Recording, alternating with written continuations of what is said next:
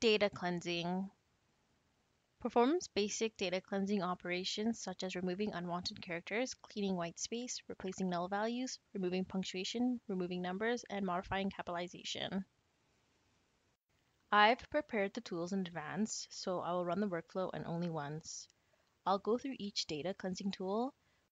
We'll analyze the settings of each data cleansing tools. Also, we'll observe the before and after data. To remove numbers, check the numbers box in the configuration window.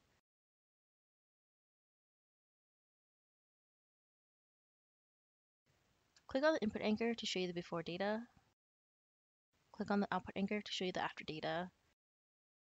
To remove punctuation, check the punctuation box in the configuration window.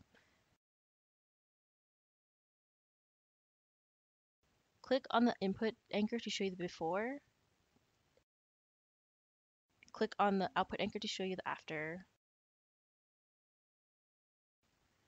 To remove white space, check leading and trailing white space. Here's the before results. Here are the after results. To modify the case, check Modify Case and then in the dropdown select any of the following. In this example, I will use uppercase.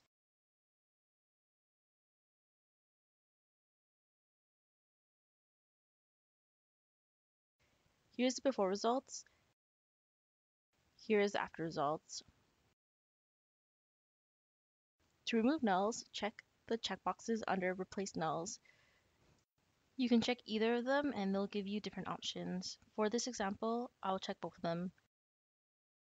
Here's the before results. Here is the after results.